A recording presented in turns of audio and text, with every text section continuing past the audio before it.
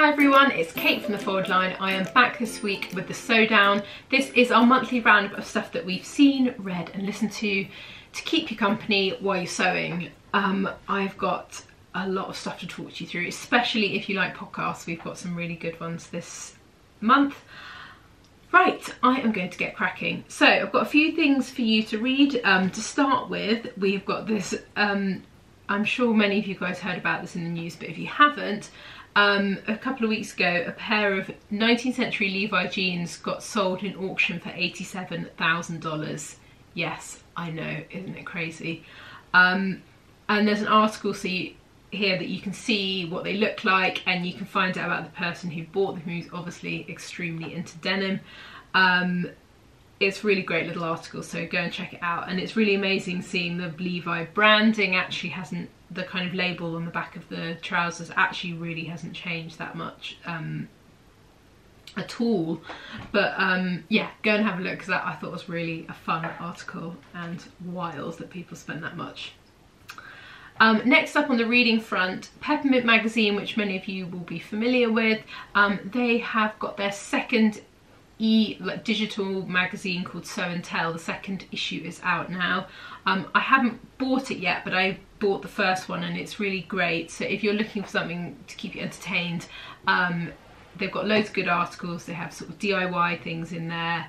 Um, and it's all really well and nicely produced. So if you're looking for something else to read, this is definitely worth going and having a look at. Another really lovely article, this is in The Guardian about a guy who was 60 and a basically complete shopping obsessive and completely created a new career for himself, um, upcycling and changing clothes. It's really nice kind of read. Um, go and check it out because he's made some quite, he has made some quite wild things. He's kind of mix and matching different types of clothes together and kind of creating new stuff. Um, really interesting and sells in Portobello. So go and have a look at that. Um, stuff to watch. I've got a few things. I've got, how many things have I got?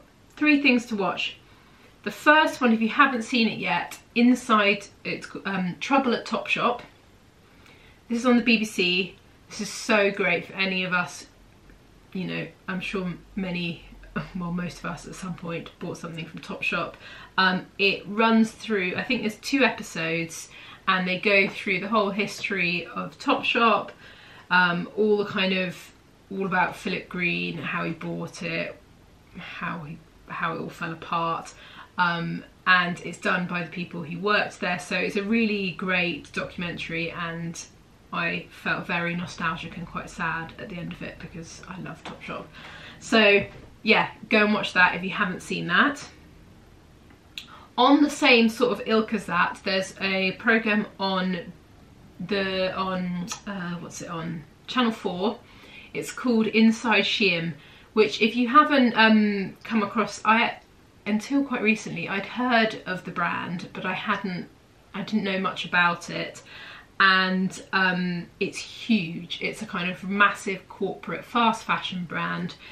And the interesting thing about it is that it's very hard.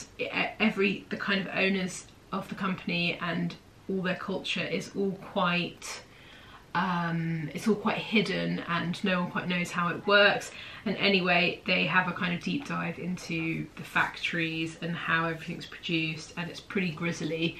Watch. So um, yeah if you're interested in that sort, sort of thing this is another good documentary. Lastly, in the watching department, we've got something on Countryfile, which makes most of you like, what? Really? Um, so this is on the BBC, and it's an episode called Field to Fashion. It's got Patrick Grant in it, and they're talking about this new movement that is growing in the UK, where they're trying to bring back production um, you know, the whole of production of fabric within the UK so that it's milled made into fabric and then um, made into clothing all within the UK and they kind of look about look at how they do that. It's really interesting. I'm halfway through it and um, yeah it's a really good watch so I think you guys will enjoy it too so in terms of listening I've got um, a really, really lovely podcast episode for you to listen to. So um, this is Making Stitches podcast and it's episode 30, Sew on the Go with Mary Jane Baxter.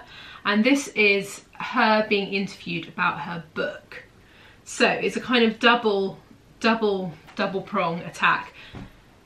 So this book is about her moving, Mary it gets a beautiful little vintage camper van and travels around Europe sewing and holding workshops and um, having this kind of magical adventure pre-COVID and it's the book I'm I've just downloaded it and I'm started on it it's really lovely. I think it feels like a real slice of another life.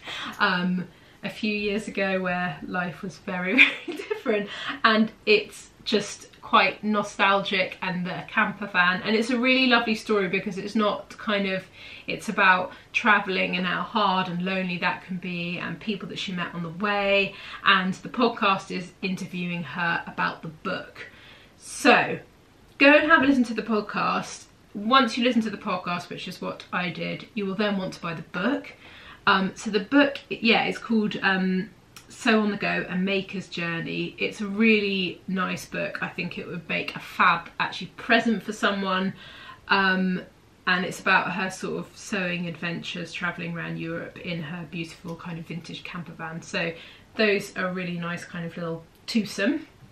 In terms of reading, um, Rachel is reading this and told me to say that it's absolutely fantastic. So it's um, many of you will have read The Thursday Murder Club um, by Richard Osman, which was like such a huge, huge book. I have read it. This is the new one that has just come out and it's called The Bullet That Missed.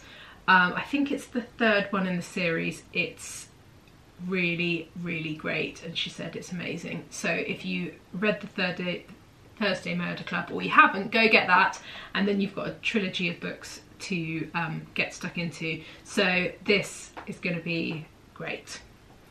Um, I've, I've actually just downloaded this to start, so I'm quite excited about it. Right, podcast now, settle in.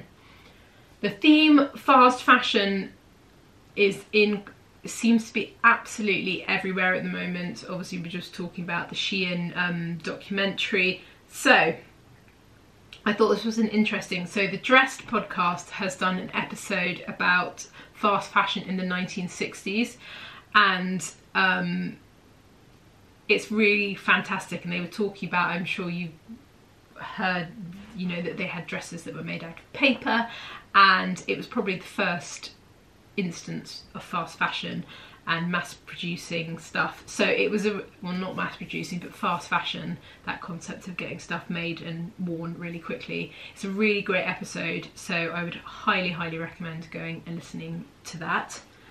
Um, on the sort of fast fashion kind of ilk, we got sent this by um, someone and I have just started listening to it and it's really great. So this is, it's the podcast is called Threads. It's Australian based and it's talking about fast fashion in America, in Australia, sorry, and I thought this was really interesting.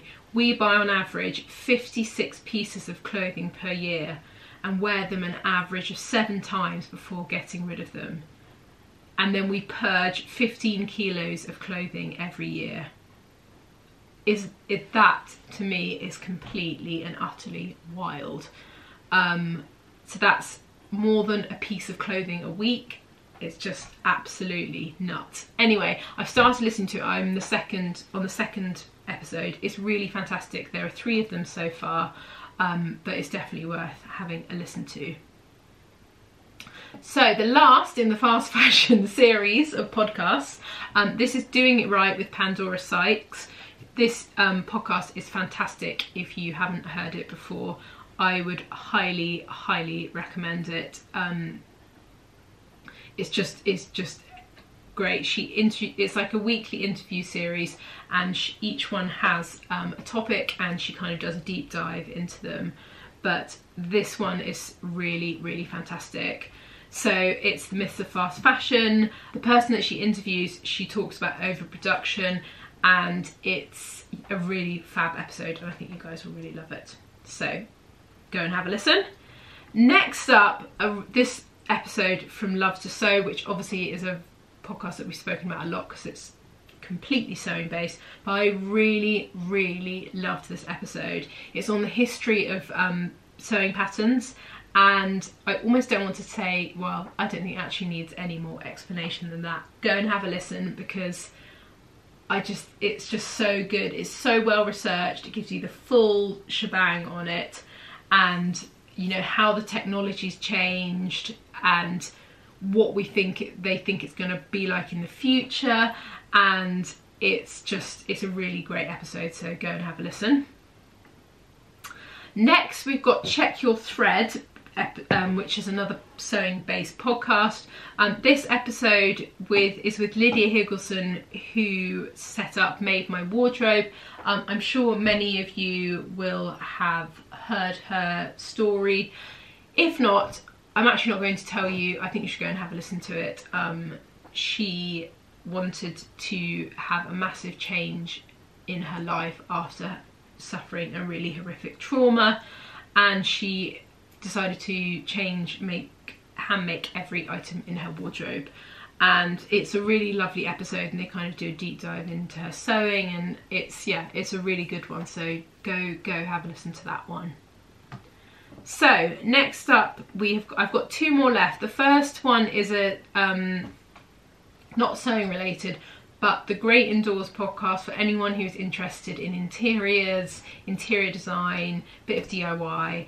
Um, if you haven't come across this, it's a really fantastic podcast. It's got two interior designers and they talk about a topic each week and they also interview people as well and the next kind of latest I guess drop of or series has just launched so if you're doing up a room in your house or you're thinking about having a change in your home um, go and have a listen to the Great Indoors because it's really great. Last but not least, this is from Louise, and I will fully admit that I haven't listened to this yet, but anything that Louise says is good in the true crime category is good. Trust me, everything I've listened to true crime that she's recommended is fantastic. And it's called, um, the podcast is called Buried Bones, and um, it dissects some of history's most dramatic true crime cases, cases from centuries ago and um, they explore the very old cases through a 21st century lens. Sounds like a really interesting kind of look at true crime and I reckon it'll be good. So that's um, on my list of things to listen next.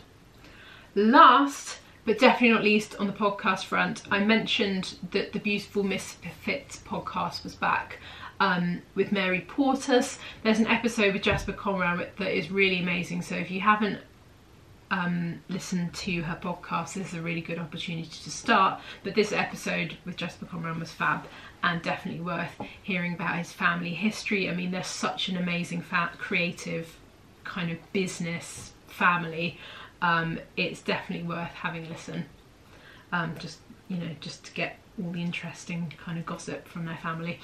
Um, it's a really good one, so definitely worth having it listen to that is it from me. I hope that was good and we will be back next month with another update for you. Have a lovely weekend. Bye.